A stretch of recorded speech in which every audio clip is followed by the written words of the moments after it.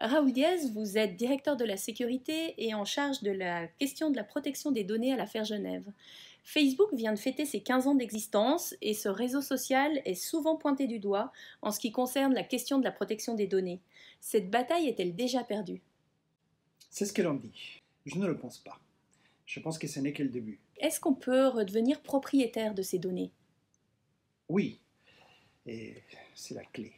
On a toujours laissé les informations comme disons transmis les informations comme disons c'est pas grave et on a donné des tonnes d'informations sans se rendre compte que finalement trop communiquer d'informations nuit à la protection de la sphère privée de l'individu. Le copyright reste la clé de voûte. Si nous réussissons à mettre en place ou en tout cas focaliser la problématique sur la notion de propriété intellectuelle, la protection de l'information, on n'en sortira que grandi.